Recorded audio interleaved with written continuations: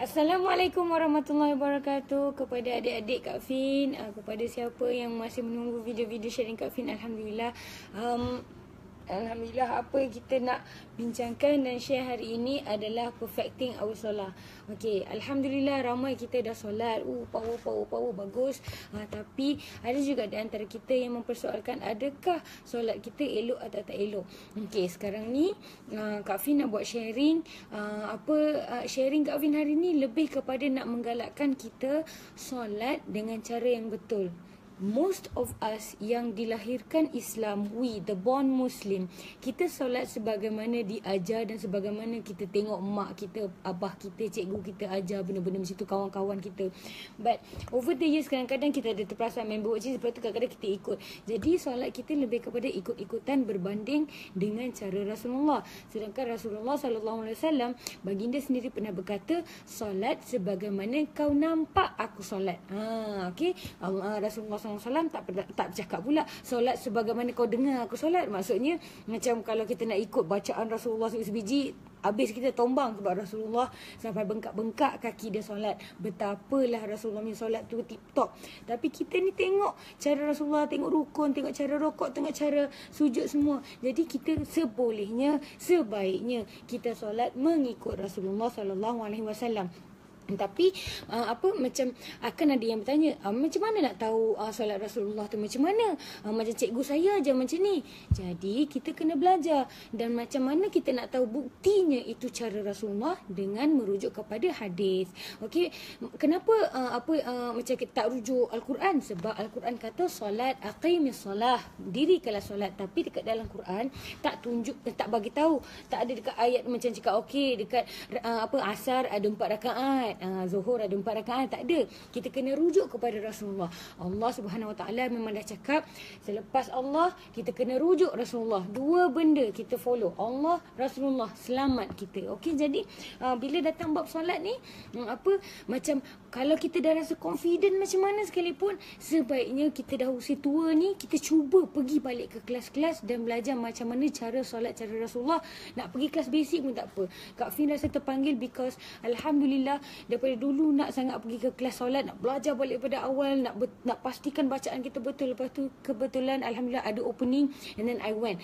Okay korang boleh rujuk mana-mana jabatan agama uh, negeri korang tanya uh, dekat mana-mana. Tapi kalau kat KL ni Kak Fin memang pergi ke Al Khadim uh, apa sebab itu paling senang dan paling dekat dengan Kak Fin. Tapi up to you yang mana-mana. Cuma pergi ke mana-mana kelas sekalipun always ask them ya ustaz ya ustazah boleh tak minta hadis sahih tentangnya? Nombor berapa hadis ni macam mana tahu Rasulullah bongkok macam ni? Macam mana? So macam kita bukan mempertikaikan ustaz-ustazah kita. Kita cuma nak bukti yang memang itu Rasulullah sallallahu alaihi wasallam yang kata.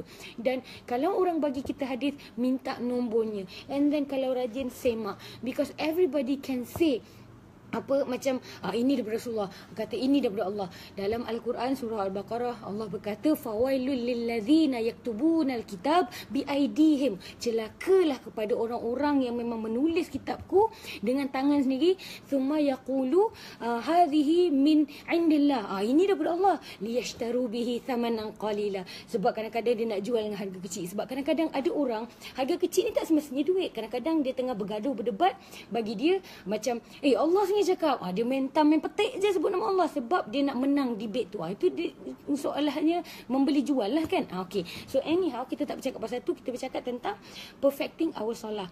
Kalau kita dah memang terror solat macam mana sekalipun always try to go supaya macam benda kita dah tahu pun kita ada orang kata sokongan hadis. Ah, ini sebab apa kita kena rokok kaedah ni? Kenapa kita kena sujud kaedah ni? Ah, hadis nombor gini gini gini faham eh? Okay. um, ada panjang sebab kalau nak cerita pasal solat solat ni memang dia dan kalau pergi ke kelas-kelas tu angkat tangan. Jadi volunteer jadi duduk depan. Jadi bila jangan macam kalau kelas-kelas ni kita duduk belakang kita observe je. Sebab kadang-kadang kita tak perasan. Minta ustaz-ustazah tu observe kat kita. Maksudnya uh, macam Kak Fin dengan tak malunya Kak Fin tak apalah. Biar Kak Fin. Tapi of course lah kelas uh, apa solat perempuan solat perempuan solat lelaki solat lelaki kan uh, ikut kelas korang lah.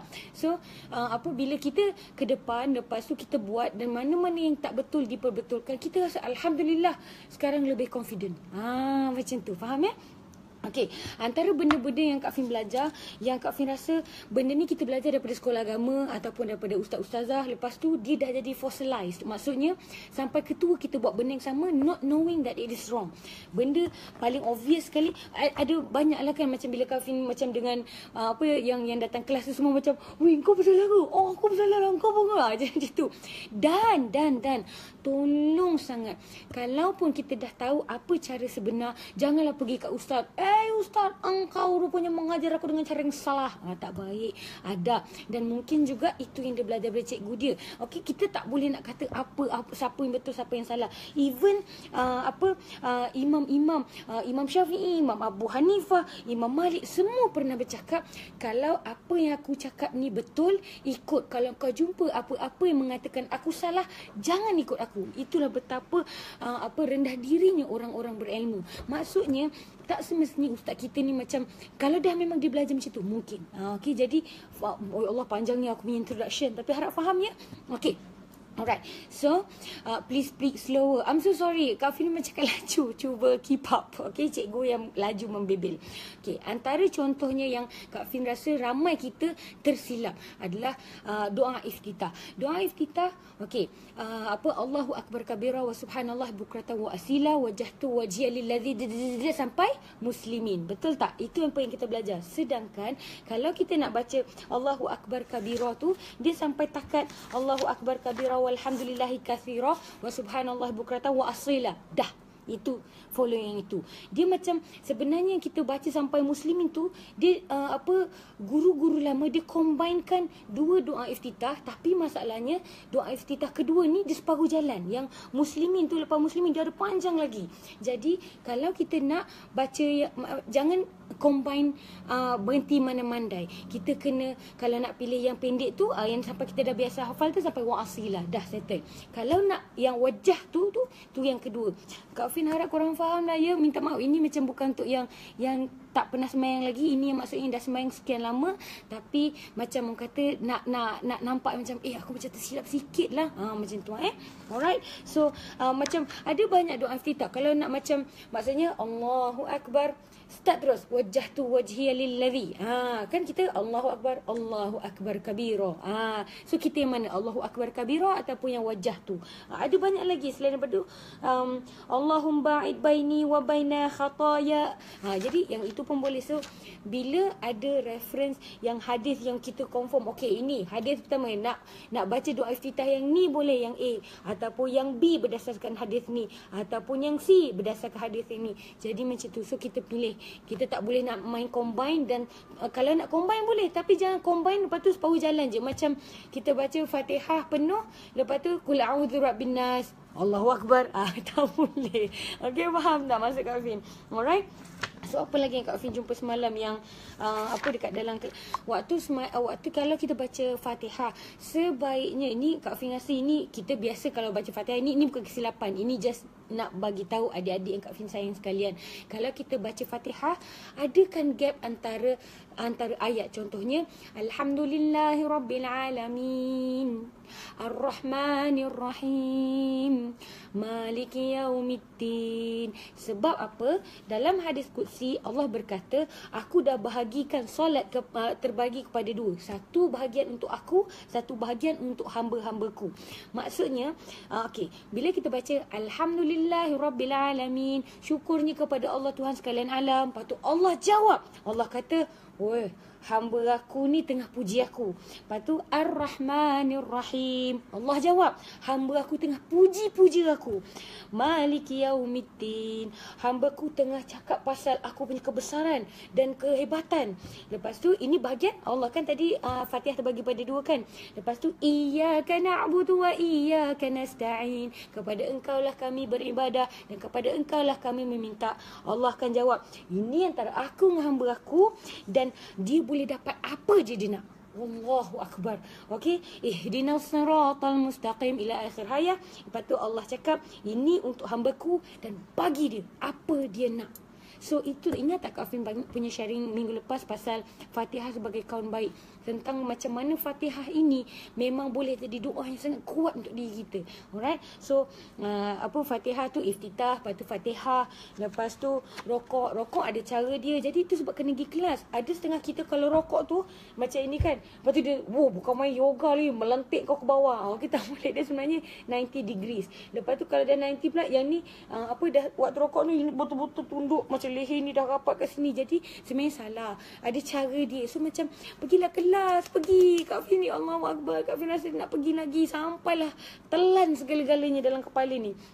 Dan oh lagi satu Kita berdiri Satu pasal dekat Malaysia ni Kita diajar yang Solat orang perempuan Tak sama dengan solat orang lelaki-lelaki Sorry yang dia tak ikut urutan Sebagai contoh uh, Apa uh, Apa sebagai contoh Orang perempuan Allahu Akbar. Betul tak? Ingat tak? Ya Allahu Akbar. Aku ingat lagi kena, kena apa pembaris kuning dengan ustazah. Sebab dia kata, kita orang perempuan tak boleh macam ni. Okay. Ah, dan of course lah untuk orang lelaki-lelaki je. Allah, Allah. Ah, itu tak boleh lah. Dia, macam, dia ada cara dia, ada tertib dia. So, uh, nak, what I'm trying to tell you is this. Solat orang perempuan dan solat orang lelaki-lelaki adalah sama. Ha, Kak Fin ulang sama. Okey, yang kita duduk macam selama ni, yang kita macam solat, minta maaf eh terpaksa tunjuk eh. Yang kita perempuan rapat-rapat macam ni kan, macam very shy-shy, very tutup ketiak, itu salah. Ada hadis Rasulullah SAW, kita kalau solat jangan macam anjing. Perumpamaan solat yang rapat-rapat tu adalah solat macam anjing. Na'udzubillah min zalik. Rasulullah sendiri dah pesan jangan buat. Maksudnya, umul mukminin, isteri-isteri Rasulullah, uh, apa macam sahabat-sahabat zaman zaman Rasulullah yang memang perempuan-perempuannya memang solat seperti Rasulullah. Sebab Rasulullah sallallahu alaihi wasallam bersabda solat sebagaimana dia solat sebagaimana kita nampak dia solat. Jadi Rasulullah memang macam tu kita semua solat macam tu. Okey? Uh, dia ada tiga binatang yang kita jangan jadi. Satu jangan jadi anjing waktu sujud. Waktu kita nak tun- nak turun. Uh, macam daripada diri kan lepas tu kita Allah kadang-kadang macam mana cara kita turun? Kita turun biasa lutut kena dulu betul tak Allah Akbar, dang, lutut lu baru kita baring. Salah. Dia kena tangan dulu sampai baru lutut. Tak apa, nanti kalau dapat kelas nanti belajar tau. Macam Wallahi akak kalau kalau akak dapat keizinan untuk share buku ni nanti akak tanyalah Al Khadim boleh tak akak share. Tapi tak bagus. Baik pergi korang ke kelas-kelas tu lah. Okey hadis semua available online sebab ni hadis sahih. Hadis sahih ni tak tak tak tak perlu dibeli pun. Hadis sahih adalah sahih. Okey jadi uh, dia ada caranya. Uh, jangan jadi anjing. Jangan uh, waktu uh, apa lutut sampai dulu tu macam macam unta. Unta yang kalau duduk kan dia macam duh. Uh, gitu lah. dan yang ketiga jangan jadi macam kuda. Kuda ni waktu uh, apa uh, masa tahiyat akhir lepas tu kita betul tak? Assalamualaikum warahmatullahi Assalamualaikum warahmatullahi Kita dah macam au, au, au. Wah, ada formation gitu. Sebenarnya tidak. Kita macam Assalamualaikum warahmatullahi Assalamualaikum warahmatullahi Settle. Okay Tak ada pun macam Hui, hui, hui Hui, hui, hui. Ah, macam tu. Again, ini semua ada dalam hadis. Dan kalau dah terbiasa, tak apa. Sebab kita buat apa kemampuan kita. Cumanya, ini cara solat Rasulullah. Maksudnya, kalau yang dibelajar tu daripada ustaz kita. Ustaz kita belajar daripada taubat tawar dan akhirnya menjumpai kepada imam. Dan maksudnya, cikgu kita yakin dengan apa dia belajar. Yakinnya atas atas semua tu dan kita tak ada ni cuma ini dibuktikan daripada hadis ah itu saja ya alright so apa lagi ah lepas tu waktu rokok waktu rokok kan kita kadang-kadang rokok minta maaf kat lepas tunjuk lagi eh kalau kita keraskan tangan dia jadi tegak tu sebenarnya kita kena ada ada macam spring Ha, kaki kena tegak. Kita pegang lutut betul-betul tegak. Tangan ni macam kita ni. Ya Allah, aku rasa macam nak buka kelas. hmm. Okay. Uh, bacaan-bacaan tu semua nantilah. Uh, okay, lepas tu... Um, Ya Allah, Kak Fin tak tahu macam nak cerita. Banyak sangat, banyak sangat policy yang kita daripada kecil kita dah terbiasa tau. Jadi macam sayang sangat. Rasa macam, Ya Allah, Akbar. Tapi kalau kita tak tahu, Allah tak pernah akan hukum uh, hambanya yang memang tidak tahu. Tapi kalau kita sudah tahu, kita kena bagi tahu orang. Tapi bagi tahu pun, kena dengan hikmah. Kita tak boleh cakap, kau salah, wahai ustaz. Ah berdosa tu ah okey menying, menyinggung hati orang tak bagus. Okey? Ah banyak lagi ni. Ya Allah the whole book. Ah lagi satu. Yang biasa akak tak tahu sebab eh, tapi ini akak belajar dulu. Kalau kita waktu sujud, kaki kita kan macam okey kan kita berdiri macam ni. Kita berdiri jaraknya macam ni. So bila kita sujud pun dia macam ni lah dia dia jongkit macam tu kan. Sebenarnya salah. Waktu nak tu dia kena rapat. Ah okey um, apa? Nak tunjuk pun gambarnya tak clear ni. Okey Kena pergi kelas. Ah, susah je nak ajar. Ah cuma lagi tu waktu berdiri stand tu kita jangan berdiri macam biasa. Kalau kita berdiri biasa kan kaki tu macam kaki itik je ni. Maksudnya tumit lebih rapat berbanding dengan jari-jarinya. Kita kena tegakkan. Ha memang kelihatan agak susah sebab kita tak biasa. Tapi kalau kita biasa sebenarnya ia lebih memudahkan. Yang bahagian uh, jangan turun macam unta tu Kak Fin dah buat Alhamdulillah dah Kak Fin dah betulkan dekat setahun rasanya. Dan memang itu sebenarnya lebih memudahkan kaki kita. Lebih Itu sebabnya kadang-kadang uh, mak-mak kita, abah-abah kita nak solat dia rasa stres sangat kat bangil lutut. Sebab selama ni kita solat dengan salah. Lima hari sekali kalau kita main engsil kaki kita macam tu memang akan rosak. Jadi sebenarnya ada cara dia. Rasulullah dah cakap macam mana cara nak buat. Okey. Uh, lagi apa lagi? Macam uh, waktu duduk antara dua sujud. Kita duduk antara dua sujud, kaki kita macam ni lepas tu kita baring letak bontot kita kat sini kan. Uh, sebenarnya tidak. Sebenarnya ada cara dia, tasyahud dia. Uh, okey. So, akak bukan orang selayaknya nak bercerita tentang macam mana cara solat. Wallahi tidak, akak tak mengatakan akak orang terbaik. Akak sendiri pun pergi kelas. Cumanya, akak suka berkongsi dan akak nak kita sama-sama masuk syurga dengan full mark. Amin. InsyaAllah, subhanallah. okay. Uh, iftirash sitting getting up from sujud ah lagi satu getting up from sujud ni rasanya kalau orang dah pernah pergi umrah dia tahu ni sebab dia akan nampak ramai orang buat dan memang ini adalah sunnah Rasulullah waktu kita bangun kan kita um, ada setengah orang dia suka bangun dengan keadaan macam tangan gitu kan macam pumping tu kan sebenarnya the best one is like Rasulullah punya cara macam ni sini ah Ha gitu. Alright. Alright. Dan apa-apa yang penting sekali pun tomat Nina tu kena kena ada tak boleh macam terus bangkit je macam tu. Alright. So um Sorry Kak Fin bukan nak membetulkan masyarakat ke tidak. Kak Fin cuma nak share saja macam kalau boleh kita belajar lah. sebab Kak Fin masa zaman dulu Kak Fin selalu petikaikan macam Kak Fin faham konsep mazhab. Tapi Kak Fin tak faham kenapa dalam Malaysia pun ada 5 6 jenis solat. Jadi Kak Fin selalu tanya macam kalau dalam dalam Malaysia sendiri sampai ada 5 6 jenis, macam mana ni? Kenapa tak ada cara Rasulullah? Oh, kononnya tak tahu masa tak tahu ada kelas-kelas sini. Pada tua ni tahu oh ada ada kelas col, uh, colat pula. Solat cara Rasulullah. Dan I went and subhanallah every movement setiap pergerakan memang dibuktikan dengan uh, hadis sahih. Uh, jadi kita nak buat pun kita lapang hati insyaallah. Okey apa lagi kak Fina nak share? Ah, lepas tu macam uh, apa um, uh, yang pasal jemaah-jemaah nantilah. Okey so Uh, sorry hari ni panjang sangat. Uh, apa uh, apa kenamanya uh, oh lagi tu uh, yang komen-komen ni janganlah terus nak terus kondem-kondem orang yang tak tahu tu. Kak Fin tak sukalah baca benda-benda macam ni. Jangan macam kita ni kalau nak nak nak akak tak sukalah nanti akak delete komen-komen korang ni. Macam kita kena faham tak semua orang lahir ada mak bapak yang hantar pergi sekolah agama. Faham tak? Kak Fin ada ramai sangat kawan-kawan yang umur 30 lebih baru start nak nak nak belajar ABC eh ABC pula alif bata. So don't compare your level of religion with others. Never. Oh, which reminds me of this. Subhanallah. Subhanallah. Okay. Which reminds ini uh, dalam kelas itu juga. Macam Syekh uh, Hussein Yis ni pesan pada kami. Dia cakap kalau kita dah tahu pun benda-benda dan kita rasa kita lebih elok pun orang kata ilmunya daripada orang berkenaan ibadah-ibadah jangan rasa kita bagus. Sebab the main re- the first thing okay the main reason why Azazil menjadi iblis adalah kerana dia aba was takbar sebab dia rasa aku lagi bagus daripada ni. So if you think your ibadah is better simpan hati ataupun macam mana cara kita put you do not know how you might offend other people. I do not like comments like this. It's not nice. Okay? Orang yang buat tersalah tu tak apalah. Kita betulkan ada caranya. Maybe you the reason why they are here because they like the way i present the the the, the ilmu. So please don't harass them. Okay, minta maaf Kak Fin terpaksa cakap ni because Kak Fin tak dapat nak delete sekarang. Okay, uh, lagi uh, ba ba ba ba. Uh, okay, banyak lagi nak share ni tapi tak apalah. Harap faham. Apa point uh, hari ni Kak Fin punya point cuma satu je. Kita jomlah pergi improve our solat. Kalau dah hidup 30 tahun takkanlah solat kita balik-balik kul huwallah kul a'udzu binas saja itu pun tajwid tak betul ha okey improve sama-sama supaya kita akan rasa indahnya. Macam solat ni adalah connection kita dengan Allah. Dia punya powernya solat ni dia punya pentingnya solat ni kalau katalah kita solat lepas tu ada sutra maksudnya kita kita mak kita tengah solat ni macam uh, apa uh, letak bag ke kat depan. Maksudnya ini kita punya kawasan nak solat. Orang nak lalu tangan kita halal kalau untuk kita hadang orang jangan lalu. Dan orang kalau saja nak lalu uh, apa saja-saja nak putus connect because waktu kita tengah berdiri tu kita tengah menghadap pada Allah dan kalau ada orang potong that connection dia jatuh dosa. Ha dan kalau kita pun saja biar orang orang lalu lalang pun itu pun kita yang berdosa. Faham tak? Solat is our connection uh, dengan Allah. So macam waktu itu kita tengah berbual dengan Allah. Tak macam sebabnya kita kena bahagia solat. Kalau kita um, apa macam kata macam tengok movie 3 jam, kita rasa tak lama, kenapa semayang 3 minit kita rasa ya Allah bila nak habis.